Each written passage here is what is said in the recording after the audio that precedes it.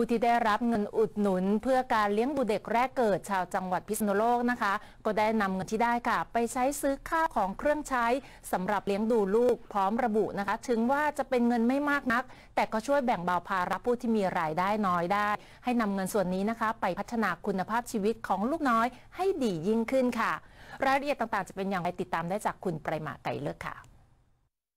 นอกจากนโยบายรัฐบาลในการดูแลประชาชนเพื่อลดความเหลื่อมล้ำในสังคมหลาย ๆ ด้านแล้ว ยังมีอีกหนึ่งนโยบายรัฐบาลที่ถือเป็นความช่วยเหลือที่จำเป็นสำหรับประชาชนที่มีรายได้น้อย คือการดูแลคุณภาพชีวิตของประชาชน ตั้งแต่เกิดจนแก่ หนึ่งในนั้นคือการช่วยเหลือเงินอุดหนุนเด็กแรกเกิด ที่มีการขยายหลักเกณฑ์การเข้าร่วมโครงการมาอย่างต่อเนื่อง ทั้งการขายเรื่องอายุเด็กจาก3ขวบ เพิ่มเป็น 6 ขวบ สำหรับเด็กที่เกิดเริ่มตั้งแต่ 1 ตุลาคม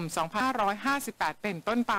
มีการปรับเพิ่มวงเงินจาก 400 บาท เพิ่มเป็น 600 บาทต่อเดือน ขยายสิทธิ์ ผู้ถือบัตรประกันสังคมร่วมโครงการได้ ปรับเพิ่มคุณสมบัติเกณฑ์รายได้เฉลี่ยเรือนไม่เกิน 36,000 บาทต่อคนต่อปี เป็นไม่เกิน 100,000 บาทต่อคนต่อปี พร้อมทั้งขยายสิทธิการคุ้มครองผู้ปกครอง หรือผู้ดูแลเด็ก ให้ยื่นขอรับสิทธิ์ ไม่จำเป็นต้องเป็นบิดาหรือมารดา นโยบายโครงการเงินอุดหนุนเด็กแรกเกิดเนี่ยเป็นโครงการสำคัญค่ะ ซึ่งทางรัฐบาลเนี่ยมอบให้กับครอบครัวทุกครอบครัวนะคะ โดยเฉพาะเป็นเรื่องของการเลี้ยงเด็กสำหรับในเรื่องของจังหวัดพิษณุโลกเองนะตั้งแต่เริ่มต้นโครงการจนถึงปัจจุบันนะคะ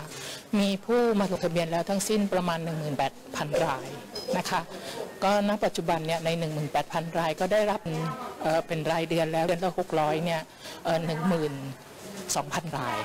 นะคะ ก็สามารถที่จะรับเงินได้ทุกเดือนโดยเงินนี้จะผ่านเข้าทางบัญชีของผู้ที่มาลงทะเบียนเข้าไว้ค่ะ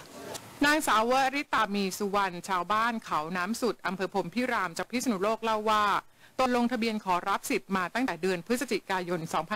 2561 ปัจจุบันลูกอายุ 3 ขวบกว่า ได้รับเงินช่วยเหลือ 600 บาท โดยโอนเงินเข้าบัญชีทุกวันที่ 10 ของเดือนนำไปเป็นค่าใช้จ่ายสำหรับลูก เช่น ค่านม แพมเพิร์ด และค่าใช้จ่ายต่างๆ ซึ่งช่วยแบ่งเบาภาระในการเลี้ยงดูได้ส่วนหนึ่ง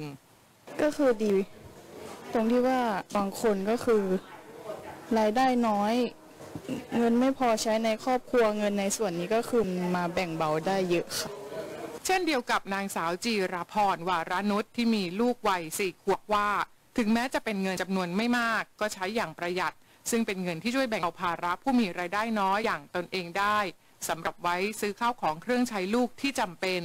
ช่วยได้ส่วนหนึ่ง ก็ยังซื้อแพมเพิร์สซื้อนมได้บ้าง หลังจากผู้ที่มีสิทธิ์ไปลงทะเบียน เพื่อขอรับสิทธิ์รับเงินหนุนเด็กแรกเกิดไว้ที่องค์กรปกครองส่วนท้องถิ่นในพื้นที่แล้วสำนักงานพัฒนาสังคมและความมั่นคงของมนุษย์จังหวัดพิษณุโลก จะตรวจสอบความถูกต้อง โดยตั้งแต่ปี 2559 จนถึงปัจจุบัน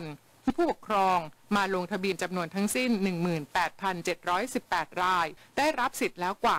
12,000 ราย ที่เหลืออยู่ระหว่างการตรวจสอบสิทธิ์รณชัยมีท้วมถ่ายภาพไปมาไกลเลิกโทรทัศน์แห่งประเทศไทยจังหวัดพิษณุโลกรายงาน